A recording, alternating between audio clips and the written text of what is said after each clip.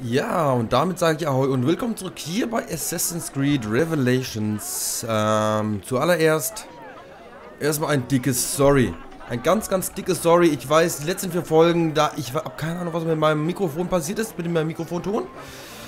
Ich habe das dumpfe Gefühl, dass es damit zusammenhängt, dass wir da ja auch in der Folge davor, zum Ende hin, dass sich da irgendwie der, der, der Sound verabschiedet hat, auf einmal unglaublich leise wurde.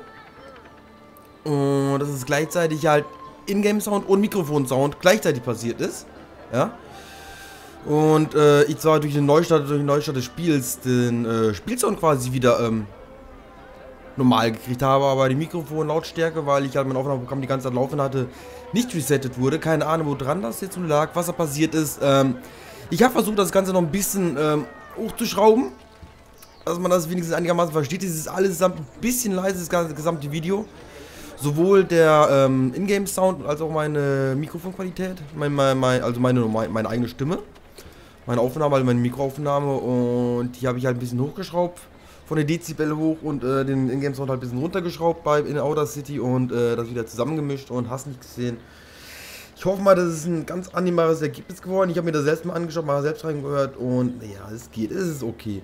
Es ist nicht das Gelbe vom Ei, aber auch nicht das Braune vom Allerwertesten und von daher, ich denke mal, ja, sind vier Folgen, sind knapp anderthalb Stunden, die dadurch davon betroffen sind, weil ich halt eine Aufnahmesession hatte.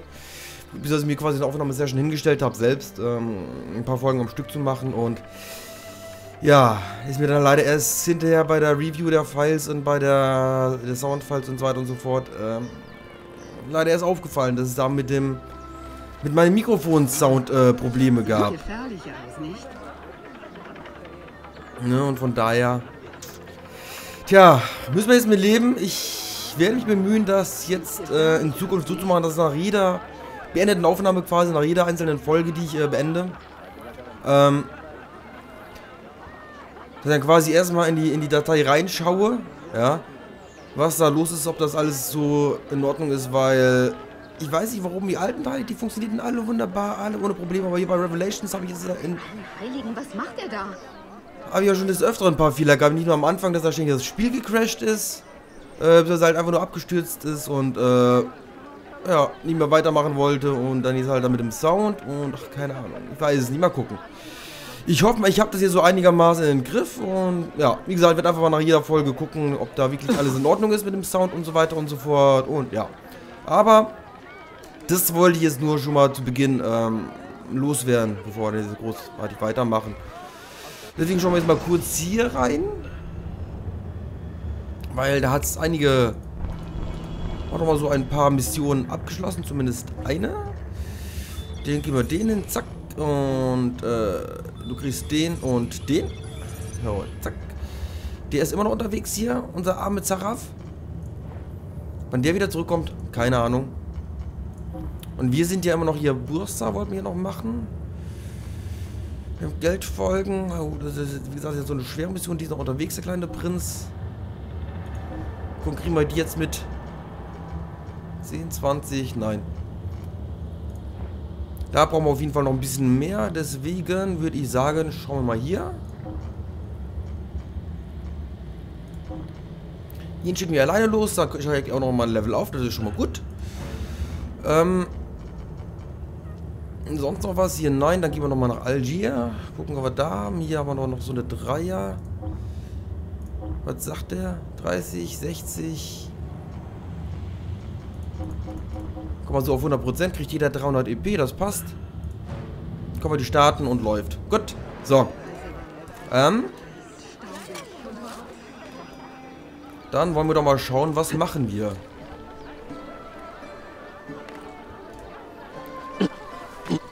Was ist zu tun? Ähm, die Hauptmission. Oh, da ist noch ein Fragment. Das wollen wir uns doch gerade mal mitnehmen hier, oder? So. Wo waren wir eigentlich stehen geblieben jetzt in der letzten Folge? Genau, wir können hier den noch mal kurz bestechen. Hier den Herold. Der dort drüben irgendwo ist. Um ein wenig unseren Bekanntheitsstatus wieder zu senken.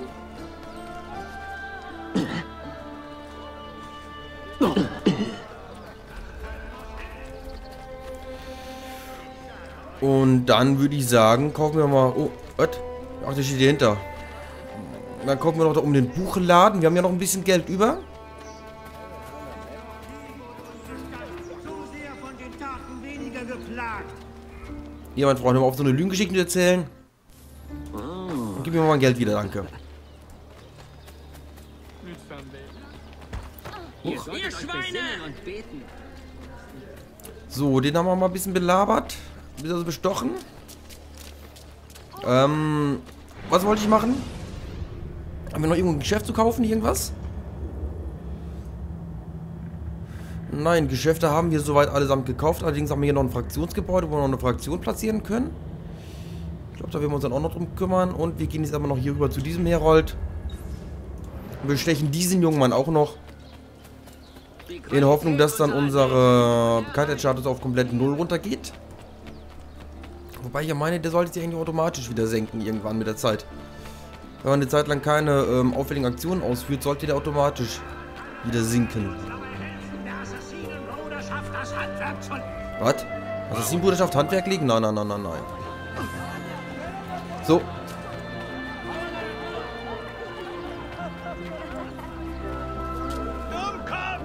Ja, sind wir doch fast bei Null, das ist schon mal gut. Bei den jungen Männern können wir Bomben kaufen. Hup, da haben wir noch eine Bombenkiste, die nehmen wir mit. Und dann würde ich sagen, machen wir uns auf den Weg ähm, Richtung Fähre. Überqueren ein weiteres Mal den Bosporus. Wenn wir da irgendwie hier rüberkommen, da kommen wir mal hier das Haus. Ich nehme einfach mal die Abkürzung über die Dächer.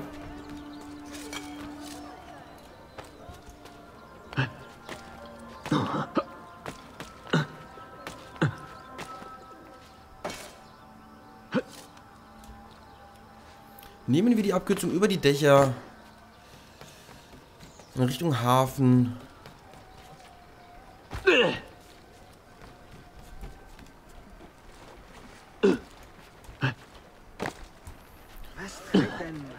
Und nehmen dann eine Fähre rüber auf die andere Seite des Bosporus.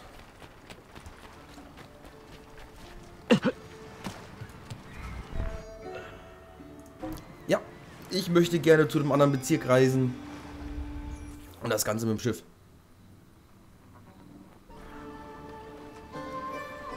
So.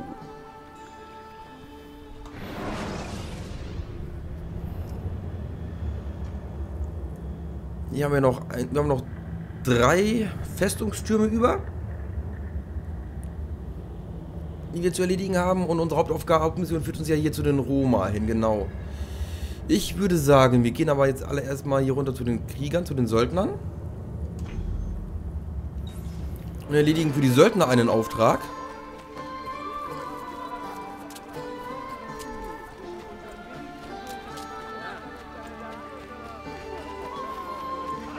Um mal zu schauen, was diese Herrschaften von uns möchten. Beziehungsweise wie wir denen, ihnen helfen können. Nachdem wir diese Tour noch mitgenommen haben, mit Bomben zusetzen. Sehr unterhaltsam. Oh, und da hat sich wieder mein Spielson verabschiedet.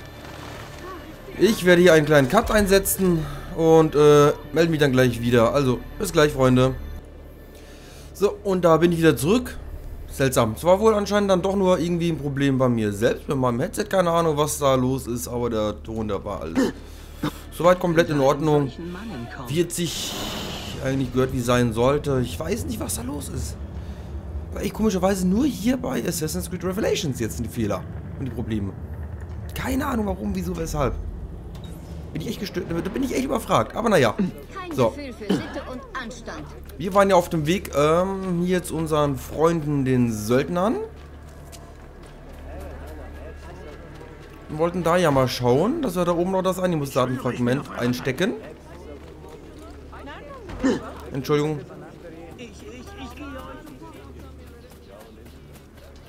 Machen wir mal diesen Weg hier längs hier rüber, auf diese Säulen und da drauf und springen dann da rüber.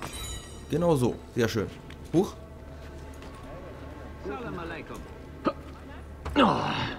So. Und wieder den Weg zurück.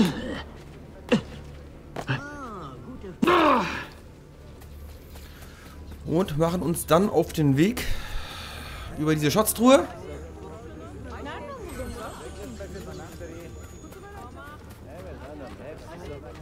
Auf den Weg zu den Söldnern.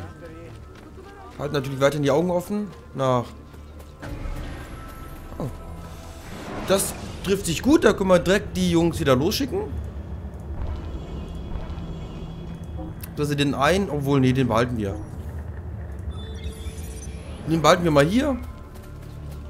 Sodass wir ihn uns eventuell zur Not ähm, als Unterstützung noch ranholen könnten.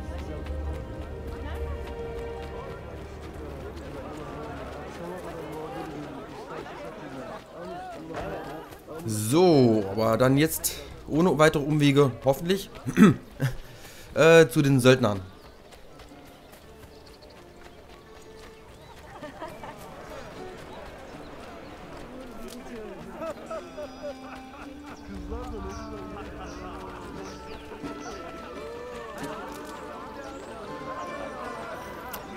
Hier lang.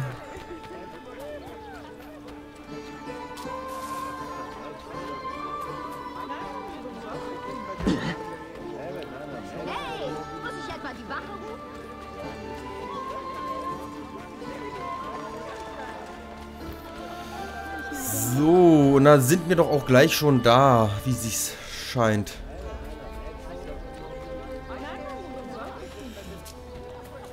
Plündern wir noch schnell diese Truhe und klettern dann übers Haus, über die Dächer.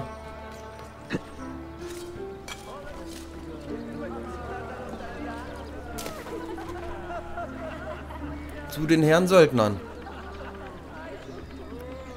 Da oben haben wir noch ein Animus-Fragment. Das holen wir uns gerade noch schnell, bevor wir dann mit dem Söldner quatschen. Ja, ich bin wie eine Elster. Es glitzert, ich kann nicht widerstehen. Ach, das oben auf dem Turm, okay. Kommen wir da irgendwie hin? Stimmt über das Fenster, oder? Ist hier drüber. Und dann hier hoch. Funktioniert das? Wunderbar, funktioniert. Hey, du sollst an die Säule springen. Hey. Gut, dann gehst du erstmal da runter und läufst dann jetzt hier so hoch.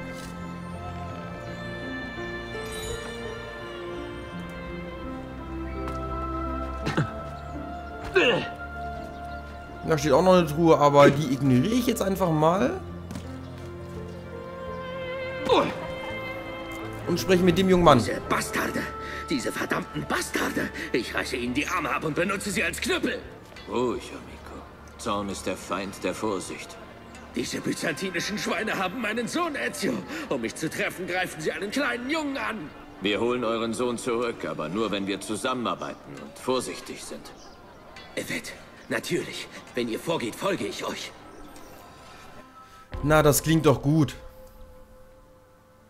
Einige Söldner wurden gefangen genommen und eingesperrt. Finden Sie Ihren Aufenthaltsort und eliminieren Sie die Verantwortlichen. Volle Synchronisation, unbemerkt die gefangenen Söldner befreien. Der unglückliche Sohn. Na, akzeptiert.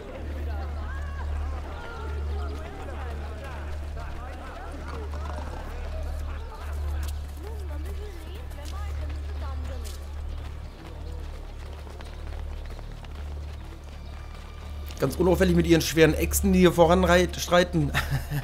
ja, das ist nur ein Verkäufer, nur ein Händler für Bomben, alles klar.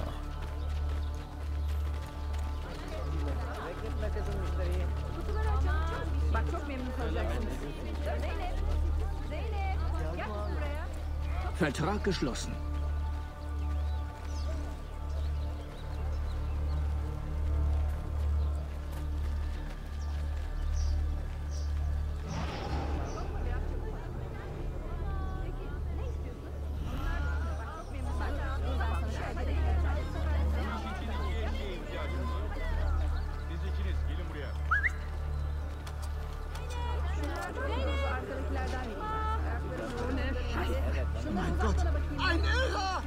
Wartet.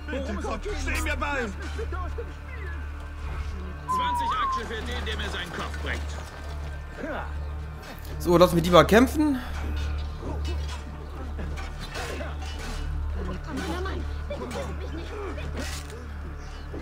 Und wir befreien mal... Ist er noch am Leben? Ich weiß es nicht. Er ist still wie eine Leiche.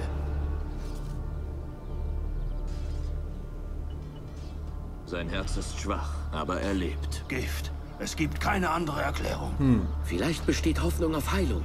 Wir bringen ihn zu einem Doktor. Sehr schön. Optionale Ziel erf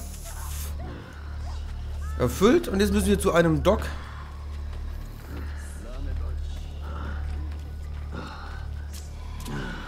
Welcher sich irgendwo dort oben befindet. Und er verliert rapide. Ja, was ist rapide? Aber er verliert doch schon konstant äh, Gesundheit. Dann beeilen wir uns einfach mal. Ja. Mensch. Diese NPCs sehen nicht, dass ich hier einen schwer verletzten, verwundeten Menschen trage. Die versucht zu helfen und rennen in mich rein. Mann, Mann, Mann, Mann, Mann.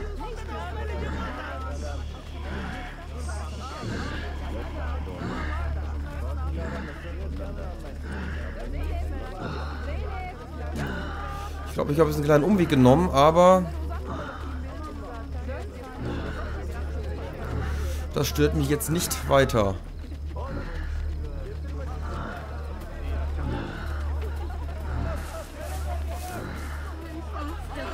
Boah, ich hasse diese dämlichen Bettlerinnen.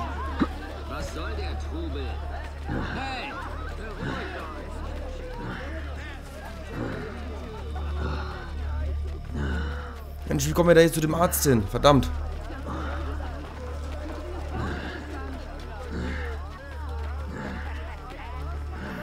Hier durch eine Seitengasse. Ich laufe hier einmal im Kreis, das ist unglaublich, ey.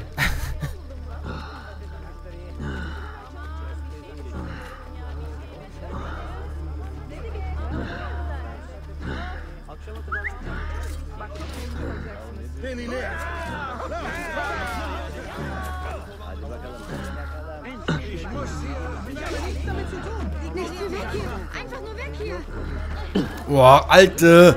Mann, was geht mir die jetzt auf den Sack, dass sie einem ständig in die Fresse rennen? Nicht mehr weg hier. Einfach nur weg hier.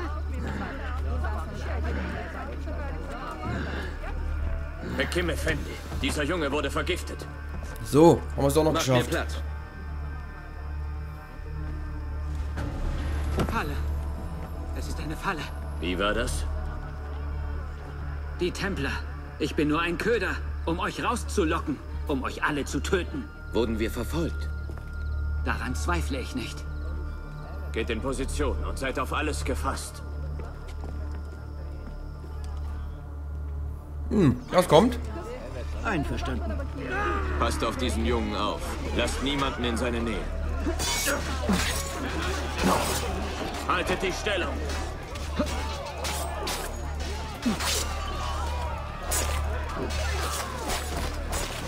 Bereit.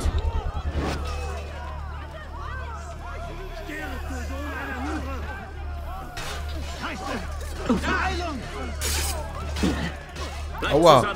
haut, haut der mich erstmal hier. Ich hab ihn hier drüben.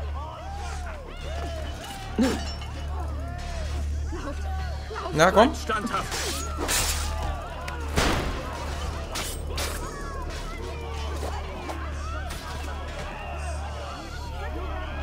Haltet die Stellung.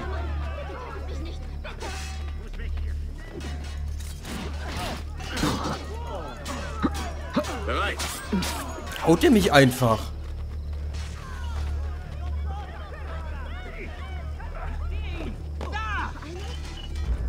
Bleibt zusammen.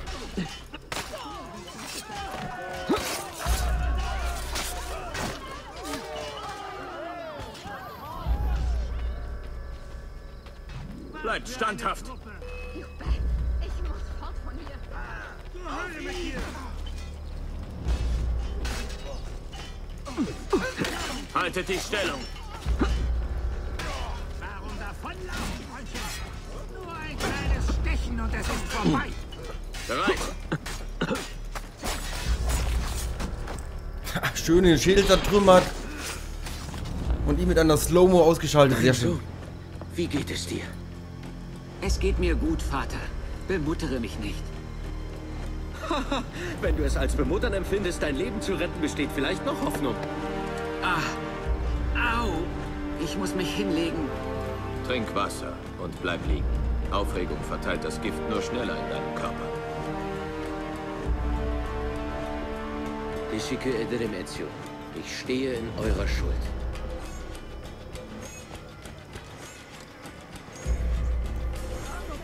Und wir haben uns mit den Söldnern zusammengetan. Sehr schön.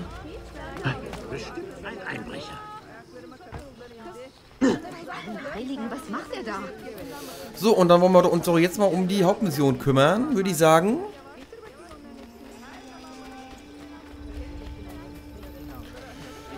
Und laufen einfach mal ganz geschwind in die entsprechende Richtung.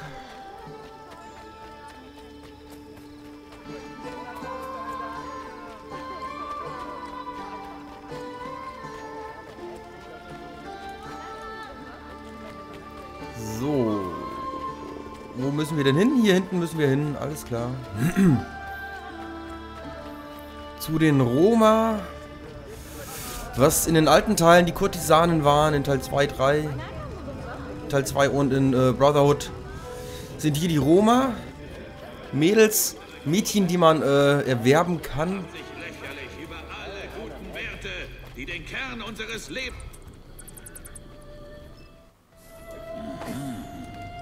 So, vielen Dank für das Geld zurück. Kurz auf die Karte schauen. Haben wir hier nicht noch irgendwo einen Aussichtspunkt in der Nähe, den wir noch aufstecken können? Ja, genau, hier der Turm haben wir ja. Den Turm haben wir ja noch da. Ich würde sagen, pass auf. Wir gehen uns mal in die Richtung, holen uns noch die Festung. bevor wir uns dann um die äh, Mission kümmern. Dass wir hier auch quasi die Karte aufdecken, dass wir auch sehen, wo wir uns hier bewegen. Weil, wie ich ja schon erwähnt habe, mag ich es eigentlich recht gerne, wenn Gebiete offen aufgedeckt sind und ich halt auf der Karte sehe, was sich wo befindet.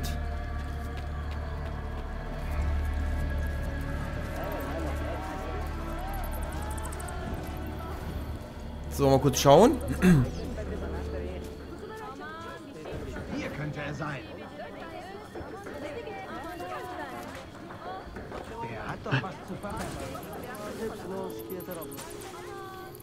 So, dann wollen wir doch mal schauen. Ähm, aber... So, machen wir nicht mehr in dieser Folge, in der nächsten, aber obwohl... Warte mal, wo, wo laufen die jetzt hin? Kommen die hier rüber zu mir? Wir fallen zurück. Schneller, Brüder. Hm.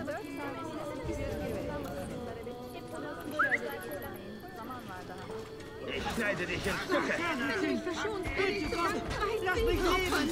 Ihn nehmen wir mit. Ganz unauffällig.